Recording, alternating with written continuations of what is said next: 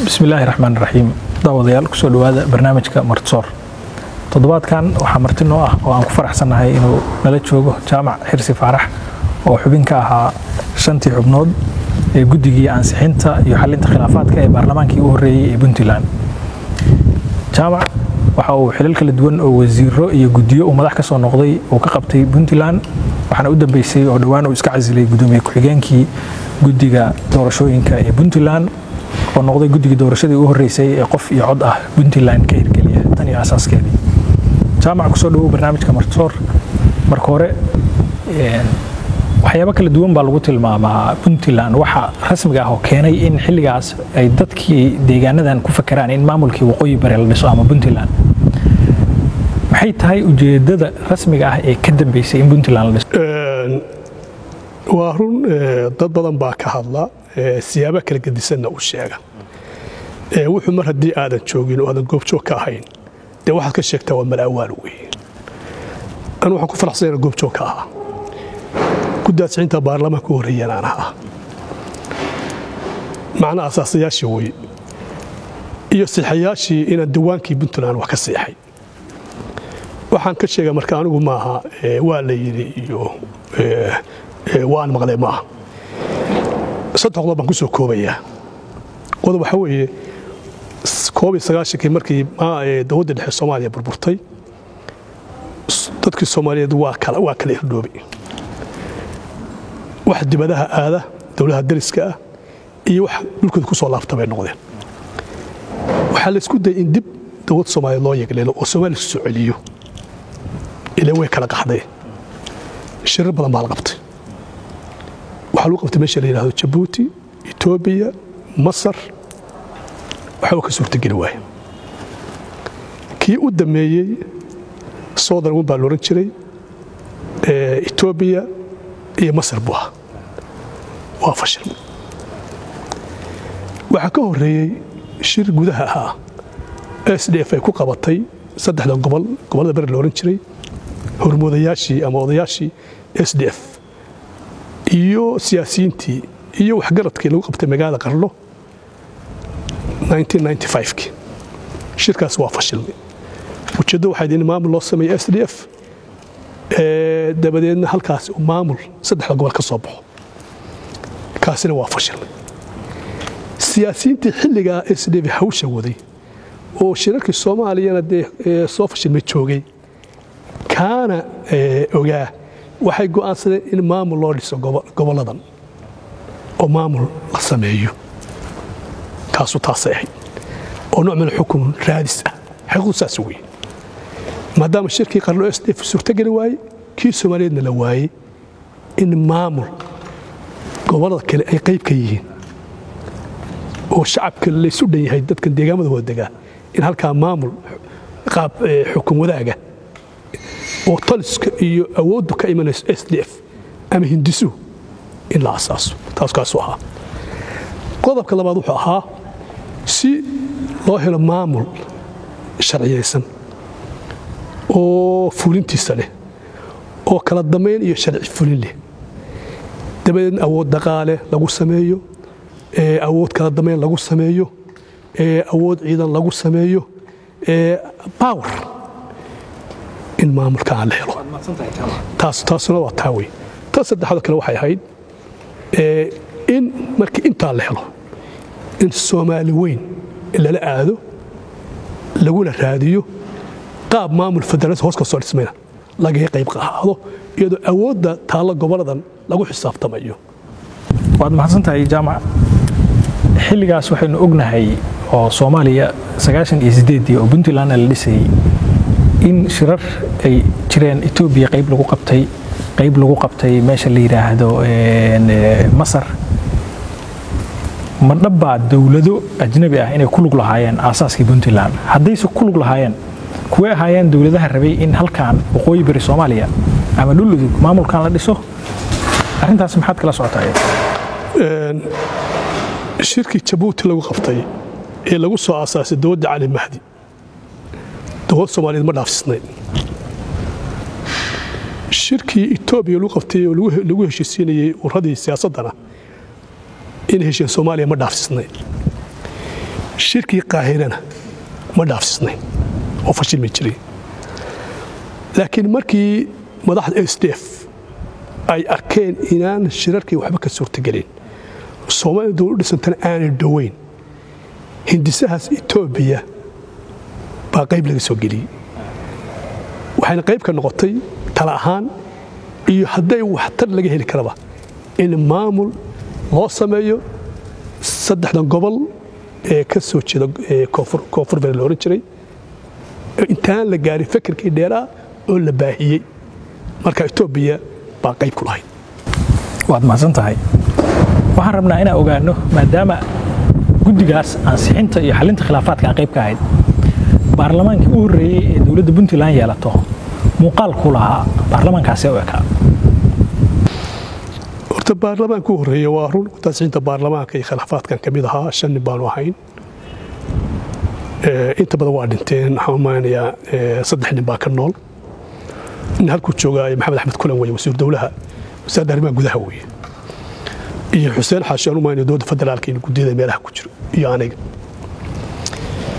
xilli adag bay ahayd xilli wax laga yeelayo bay ahayd. Baarlamaankana kuwa dambe waa ka duwanaa. Sababtoo ah dee xukuumaddaa ka horraysay ilaa baarlamaanka xukuumaddaa dooratay. Xukuumadda xilligaa ergaa lagu doortay. Dabeedna guddidaas baa la magacaabay waxaa la yidhi shacabkii ka soo dhex saara sagaal iyo lixdan xubnood oo baarlamaana. Dhib badan baa loo soo maray. Waxaan ka xasuustaa dadku ma aqoon baarlamaanka mana ay fahamsanaayeen ka dhaadhicinta in maamul dowlad la sameeye baarlamaanna loo baahan yahay. Baarlamaanku noqonaya xeer dejintii iyo sharciga inoo hayn lahayd. Fahan dheer bay u baahnay waxaan ka xasuustaa shan gabdhood baa yaha lagu soo daro. Gabdhahana dee berigaa way iska adkayd in gabadh masab ee loo hibeeyo. Waxaa la shanta gobol ha laga soo saaro shan gabdhood. Isimada xumar jacnoo ahaa islaan maxamed allahu naxariiste isima guddi ah xukuumaddana cabdillahi allahu naxariiste iyo golisa wasiirada. Shantaa gabdhood bale ween la soo saaraa dhib badan baanu ka marray. Laakiin waxaanu ku guulaysanay inaan shantaa gabdhood soo saaro. Oo ay baarlamaanka u horreeyey ay ka dhex muuqdaan shan gabdhood oo shanta gobol puntland ka soo jeeda. Waxaan kaloo xasuusnayaa baarlamaankaas. Waxaanu fokiska saaray ilaa rag dowlad yaqaana oo maamulka cusubna dowladnimo horseeda mustaqbalkana baarlamada soo socda ay ku daydaan. Waxaa salfadhi u ahaa saddex iyo labaatan nin oo khabiiriina waayo araga oo dowladihii somaaliya u shaqeeyey oo de hebel hebel ku odhan karo maanta. Wada dawli ahaa. Waxaa ka mid ahaa maxamed jibriil baa ka mid ahaa. Nabadgud somalia haysan jiray. Waxaa ka mid ahaa kala jaban nin la odhan jiray. Oo dowladda somalia ka soo shaqayn jiray oo reer bari ahaa maxaan ku lahda afalaar baa ka mid ahaa. Waxaa ka mid ahaa lama rag badan ilaa saddex labaatan nin bay ahaayeen bootaan baa ka mid ahaa. Oo aqalka sare galay. Doctor yuusuf siciid madaxi baa ka mid ahaa. Marda guddoomiye baarlamaan noqday.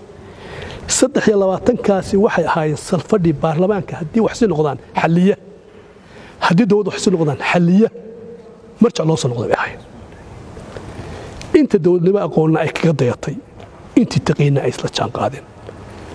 Waxaa markiiba muuqday baarlamaan benteli kara puntland shacabka puntland dowladnimona ay ka muuqatay.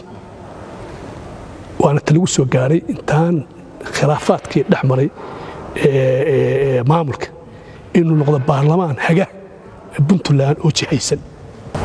Waa mahadsan tahay jaamac waxaad tilmaantay baarlamaankaas u horreeyey inay soo galeen ugu yaraan xubnood oo dadkii dowladdii militariga ahayd meesha ka baxday ama dowladihii ka horreeyey rayidka ahaa ka shaqeeyey ah oo dowlad waxaan xusuusannahay puntland dowladdii cabdullaahi yuusuf kadib inuu khilaaf ka dhashay muddo kororsi dowladdu samaysatay. Haddii aad si fiican wax u maamusheen oo baarlamaankaas aad soo xusheen aad tiri dowlad bay ahaayeen qaybo badan oo ka mid ah. Balna xusuusi waxa keen xaggee wax ka khaldameen in muddadaas yar kadib maamulkii uu galo ishaysadkaas iyo muddo kordhintaas iyo xaggee bal wax ka qalloocdeen markaas arrintaa haddaadna xusuusiso horta arrinta isimadu awood bay lahaayeen oo dhaqameedku marjac bay ahaayeen.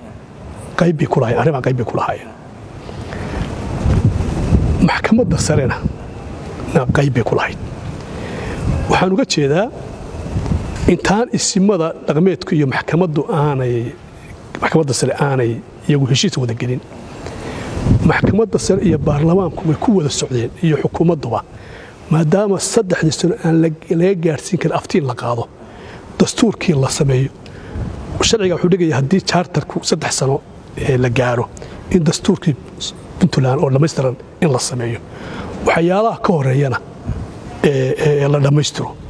Markay muuqan weyday waxaa la istusay oo dowladnimo ahaan ahayd oo qaab dowladnimaa loo fekeray burburna looma fekerin qabiilna looma fekerin waxaa loo fekeray si aan maamulku inooga dumin. Aynu horena u soconno. Wakti fiicanna loo helo.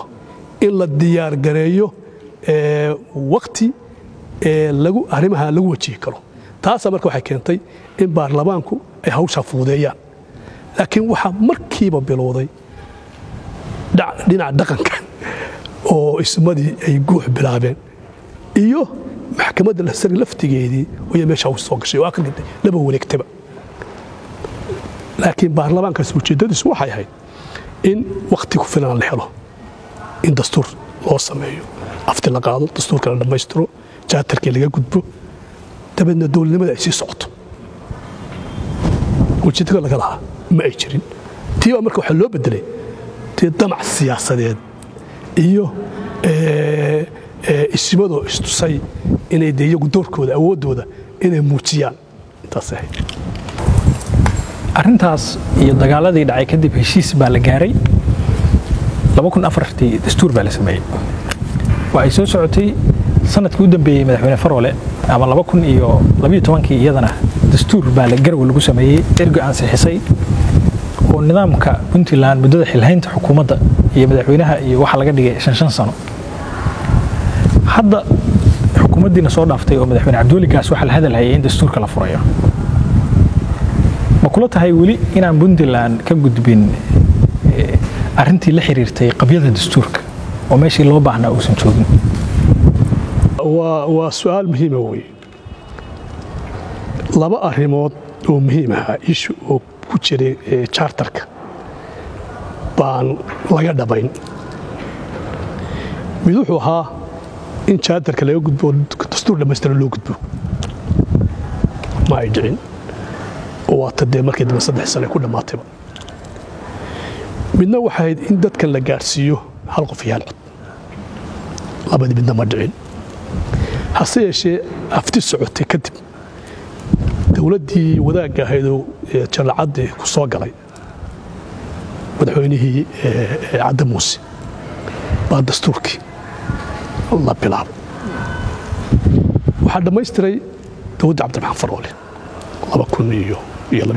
afti loo qaaday dastuurkiina la dhammaystiray shacabka beriga marka baarlamaanka la samaynayay xubnaha dad badan baan baarlamaan ka qayb qaadan oo qayb ka helin oo dulmi baa ku jiray meesha wixii waa la koobay dadkii lama wada deeqsiin laakiin dad badan oo dee ahayd in la siiyo xubnaha bar laga siiyo oo qabaayil ka mid aha puntland baa waxaa lagu qanciyee dastuurka marka la sameeya dastuurkaa la furaya. Dastuurkaasaa wuxuu ogolaan doonaa in dadka la wada gaadhsiiyo qaabka baarlamentariga ama laga gudbo oo loo gudbo hal qof lagaba maarmaba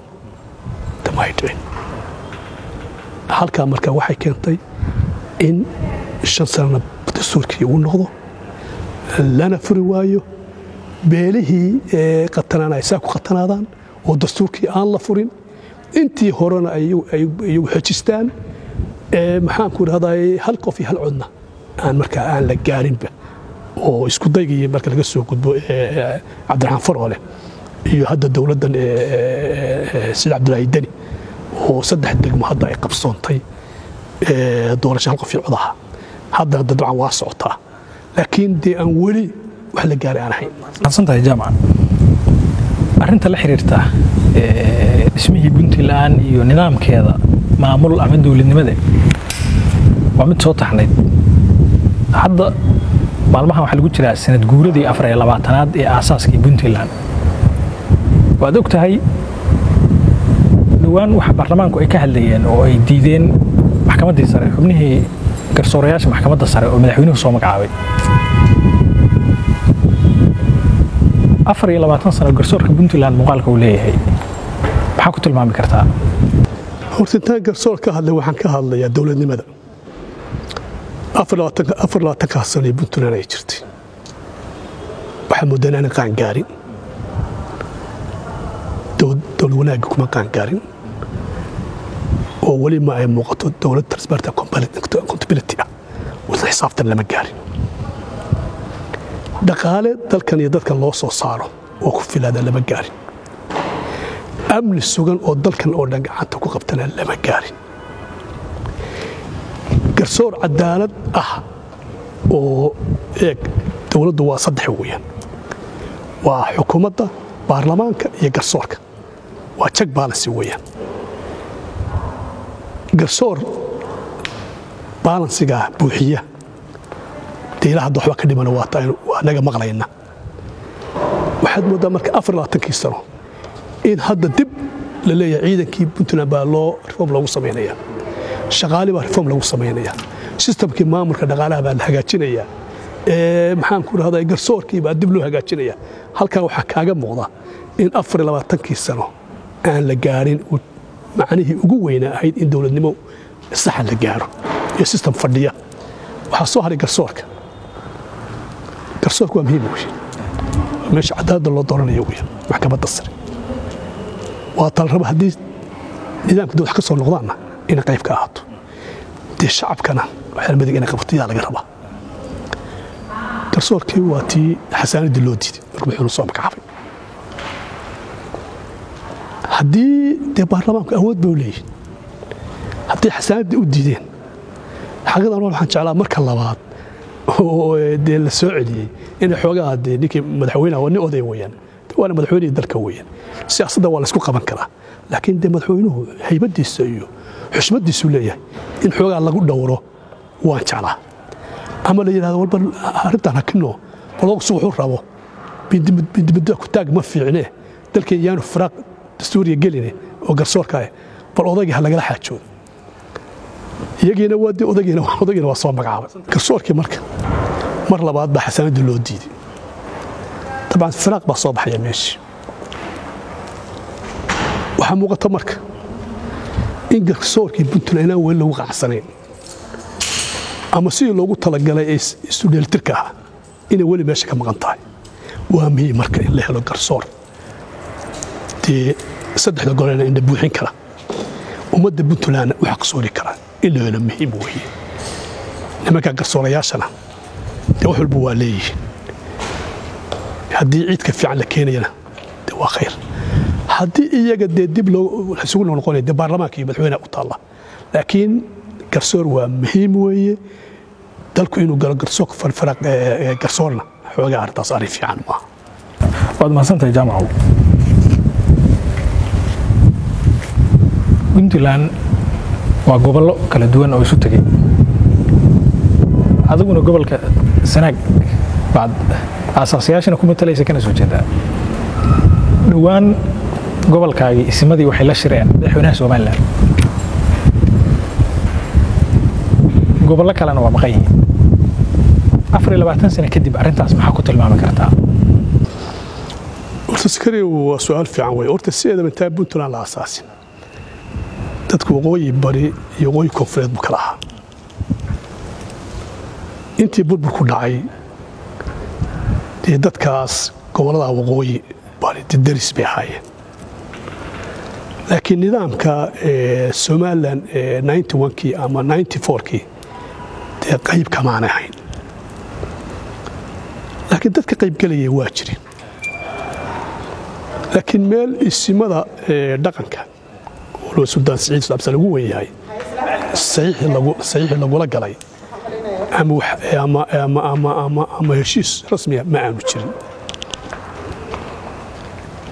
Dabcan way imanaysaa marka in weli layska rajo qabo. Oo dee dhaqankii iyo derisnimadii iyo waxaa weli meeshii sii jira. In marka qaab dowladnimaha loo fekero oo weli lagu daba socdo gobolladaa waa arrin jirta weeye. Shirka ceergaabo shirkii hore wuxuu ku bilowday. Barqaab wadatashi ah oo arrimaha soo soo socday inta badan socday bal si laga yeeli lahaa. Qaab siyaasadeed weji kalu yeeshay. Waana fashilmay suldaan saciid cabdisalaam baa u soobaa inuu yidhaahdo wixii aanu meesha u nimid sidaan ma ahayn. Sidaasi ka duwan bay ahayd. Mar bayna hoos ugu sii daadego. Dabeedna fashil baa halkaa ka yimi somalilan iyo madaxweynuhu iyo wasiiradu waxay wateen. Ma suurtagelin waana loo kala tegey. Ma oran karnaa jaamac waxaa keenay shirkaas isimadii gobolka sanaag ay madaxda somalilan la qaateen. Iyo gobollo kale oo tabashadooda iyo cabashadooda warbaahinta laga arko sida hadda gobolka bari oo isimadii iyana ay warbaahinta dhowr jeer ka hadleen ma oran karnaa puntland afarlaatankaa sana kadib waxaa muuqatay inaan loo sinayn nidaamka xukunka. Asaasayaashii baa ahayd xilal kala duwan baa puntland ka soo qabatay. Ma waxaa jiray heshiis ama ha qornaado ama gentleman agreement ha ahaadee intaan madaxweynaha la dooran in goboladan dhul udug ama puntland la kala qaadqaato oo qabaa'ilka qola madaxweynaha qaadato qoladiinaan reer sanaaga gudoomiyaha baarlamaanka aad qaadataan reer sool iyo madaxweyne ku-xigeenka qaataan dadku ay isweydiinayaan. Waxaa soo laalaabatay puntland hagbad madaxweynihii kada kada oday baa tahay aasaasayaashii baa ahayd bal arrintaas noo sharax bismillaah horta waa nasiib daro in aflatasaa ka bacdi.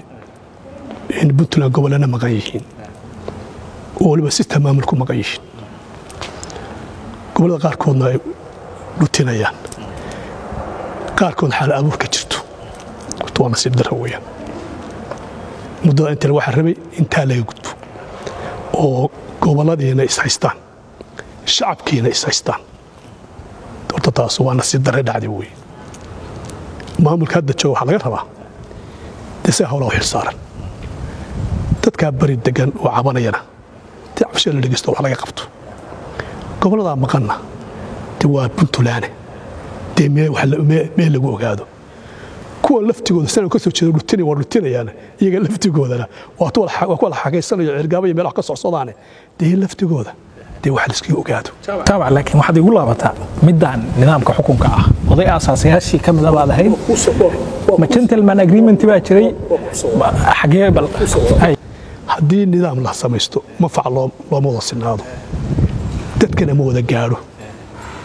Lamana wada mahadiyo. Horta mid waa kuu sheegayaaye ama awoodda ha noqoto dowad qaybsiga ama xagga dhaqaalaha ha noqoto. Ama xaggan wax kororsimada ha noqoto. Dee waa lagu kala badan yahay. Oo waa iska muuqataa mar raba lakiin inaan hoos ugu daadego dooni maayaan laakiin taa waxaan kaga tegayaa kolley wixii loo sinaan maayo. Oo cid baa bidida daabkeeda haysa. Halkaasay marka arrintu inta badan aadaysahay waxaa soo haray arrimahan heshiis. Puntland in madaxweyne gobol la qaataan. Ra'iisul baarlamaanna gobol la qaataan. Madaxweyne ku-xigeenna gobol la qaataan. Absolutely wax meesha ku jira maayo xeerna kuma jirin. Jaartar baale kuma jirin. Shir laysagii laga wada hadlay ma jirin. Wax gentleman agreementan ma jirin. Jaartar wax lagu qoray. Madaxweyne loo siman yahay ku-xigeen loo siman yahay ra'iisul baarlamaan tartamaya sidaa waxaa u dhigay siyaasiyiinta hanka lahaa. S d f baa madaxweyne isu sharaxday cabdiciis baa noqday. Waddadii bay qaaday madaxweyne ku-xigeen waxaa isu sharaxay ku-xigeenkiisa u s b ahaa maxamed cabdixaashi ha waddadii ba martay ra'iisul baarlamaankii doctor yuusuf saciid madaxi baa isu sharaxay halkii bay martay. Sidii bay ku socotaa. Cid wax ka badishana ma jirto. Laakiin wax lagu heshiiyey iyo wax dastuuriya iyo wax ganacada midna maaha waa mahadsan tahay. Jaamac waa ognahay oo labadii kun iyo sagaalkii faroole waxaa ku soo dhawaaday jenaraal kijiir hadda waa iyada somalilan shirtay dhinacaan sool. Waa maqan yahay gobolkii marka idinka laftigiinu soo ma oran karnaa siyaasiyiinta goboladaas ka soo jeeda. Eedda qayb baa ku leedihiinoo si aad bal u garnaqsataan oo la yidhahdo bahasha loo sinaado bal inaad goboladiinni keentaan oo canshuur laga keeno oo la xoreeyo. Oran karnaa eedda waxbaa ku leedihiin? Dadkiina goboladaas matalayay oo garowa joogay oo dowladda ku jiray oo ahaa oo xildhibaanada ahaa? Horta markaan gobollada isku qaado hadda labada gobol ee saddexda gobol ku soo darsamay ee awood xukun raadiska ahayd sool horta waa maqan tahay waana kuusha sista maamul ku maqan tahay dadkani waa jireen waana joogeen sista maamul bay ku maqan tahay ama dawli ah sista maamul baa lagu haystaa lagu qabsaday tan lagaga qabsaday waxaa soo haray sanaag sanaag waa nugushahay waana dhutinaysaa laakiin waddaan kuu sheegayaa annagu waa isku daynay inaannu derbigaa jibinno oo saa sheegtay deelka jiir baa tartamay midna xasuusnow oo waxaa ka horreeyey maxamed cabdixaashi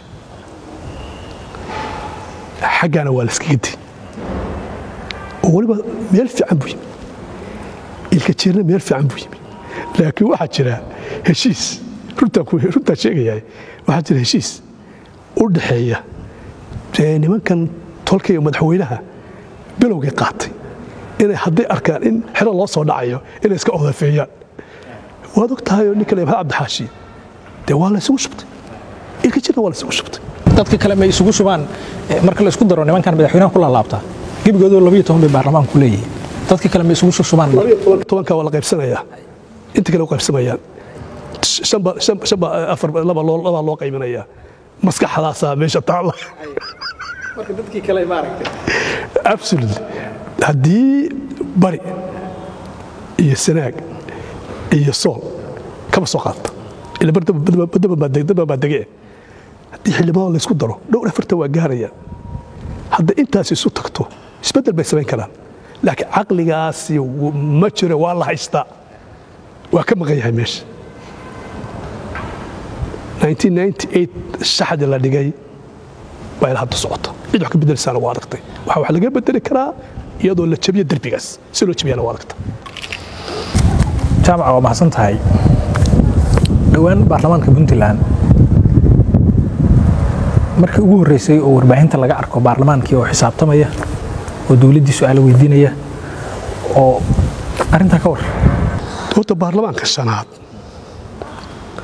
shalay dee shalay ma ahayn. Kalfadhina uguma horrayn ilaa xilligii la doortay oo la soo xushay dee waa joogeen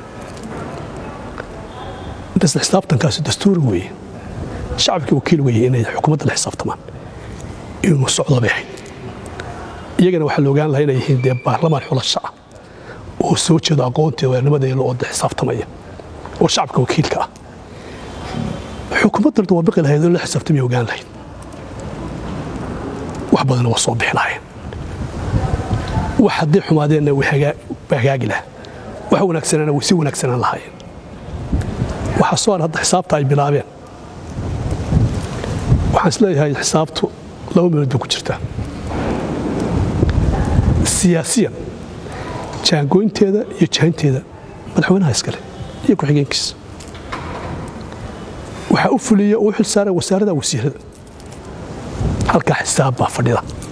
Haddii dalka amnigiisa wax ka xumaadeen haddii dhaqaalihiisii wax ka xumaadeen haddii siyaasaddiisii leexatay haddii shacabkii wax si noqdeen halkaa xisaab baa ku jirta. Inay si sax u galaan bay ahayd oo halkaa beegsadaan ilaa madaxweynaha ilaa wasiirkiisa wasaaradda siyaasadda. Halkaa wax ka soo bixi lahaa. Dalkii hawlihiisii loo idmadee ma socdeen mise waxbaa ka xumaaday. Xaggees wax ka xumaadeen